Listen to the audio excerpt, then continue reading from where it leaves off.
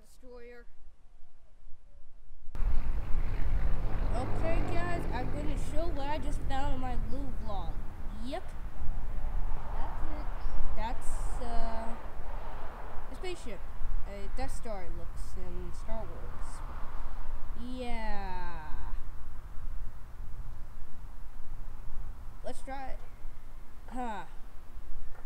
I don't know what to do, but still. Yeah, I think we're all dead. Hello there guys and welcome to brand new, for a long time, After Effects tutorial today. You guys wondered how I did this Star Destroyer effect, and you might think in certain videos, man, that has to be pretty hard to do, guys. But yeah, um, to be honest, it's actually easier than you ever so think of it. So let's get to it all you need is a file. I mean, all you need is your own video of showing the sky and all that. And to be honest, I think I you're gonna need like a DSLR type uh, footage because you get to like change the focus and certain areas are the most uh, detailed and yeah, that's what you will need. And then you will need like a image you want in the sky. I picked a Death Star in this case. So let's try to get started on this. I'm going to bring this file to new comp. And as you can see, it's my own neighborhood. But yeah, it's not that bad. As you can see, I have the sky. It's rendering. So what I'm going to do is that I'm going to place it, cert it mostly in the spot. But it doesn't really matter because I'm trying to... Wait a sec. Yeah, you're going to need to go to your tracker tab here now. Click on your footage and then press track camera. And it will automatically do this thing. It will track your whole entire clip. So all you just need to do now is just wait like I'll do right now.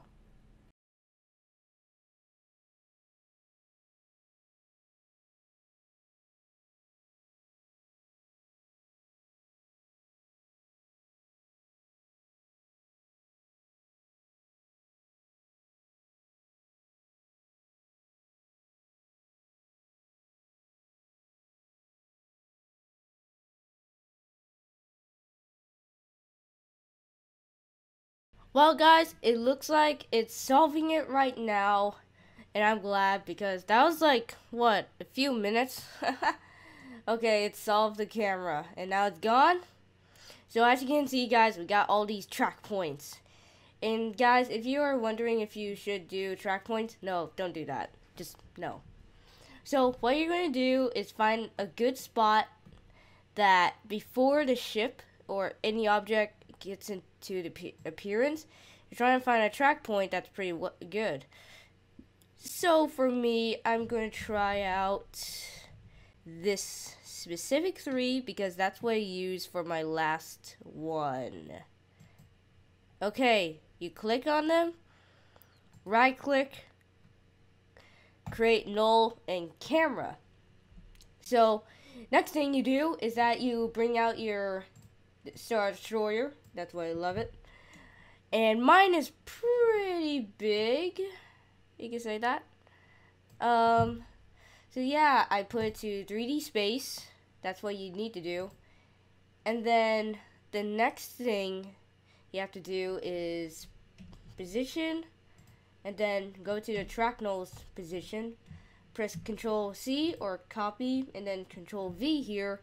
And then you have the specific uh, yeah, you have the specific coordinates for it. So now I'm to try to uh, get this into position. I'm to use like anchor.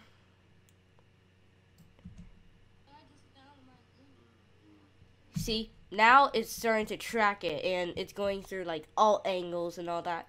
But if you want it to be like a bit better, go to transform, auto orient, and I don't think you'll see the tab because of my recording software, but if it shows orient towards camera, click that. And now it should look a bit better. But just to tell you, whenever it's off camera and you can't see it, well, yeah, so you you don't see it and now you do. And that just looks awesome. Now, little tips on making these type of images in reality type scenarios. What you need to do is try to uh, copy all these if you were not to like uh, edit the uh, the original footage. You select all except for the footage, and then Control Shift C or pre-compose. I'm just gonna call it Star Destroyer. Number one. Okay, now we got that started and still tracking as you can see. So I'm going to go to my comp right here.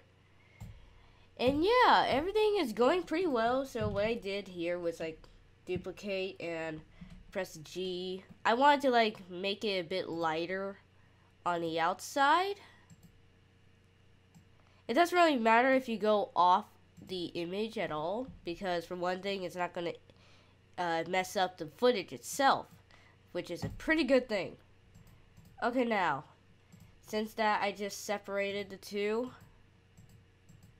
yeah, I'm going to go to my effects and presets, curves, yes this is going to be so great, and now I'm going to like brighten it up so that it will look like the original image. Because as you can see guys this daylight time it's not that that dark on the bottom. It's sort of like off in the distance. Almost like dusk I could say. Towards noon. Okay. Next thing is that before that I forgot to do something. You need Gaussian blur before that repeat edge and just like crack up the uh, the levels and it's pretty blurry and do the same to this one.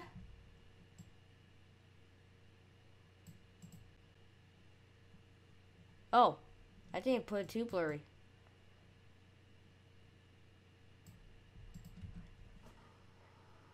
so yes now we did that part Okay, now it's time to get to the fun part, editing and trying to make this look good. So, basically, that's mostly all I did here. Uh, huh. Did I put a Gaussian blur here? Doesn't even look like it. Oh, I accidentally placed it here. Whoops. Did not mean that, guys. Don't do that unless your image is too blurry or too sharp. But yeah, now I'm trying to do that. Drop down the opacity too. I placed mine to like 75%. And what will happen is that whenever you place it on the image, it will sort of give out this like matching look to the sky, making it actually create this like, um, how do you say it? Oh, whoops. This one needs to be a bit lower.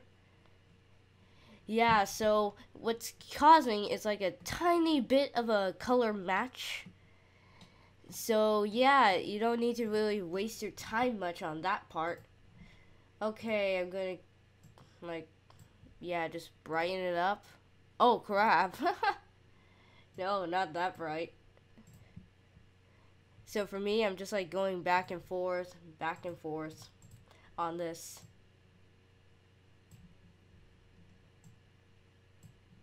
Okay, next thing is to like have a feathering here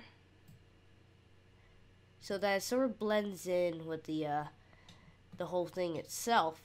And now guys, now that actually looks awesome than my previous image. I mean, like, well, sort of.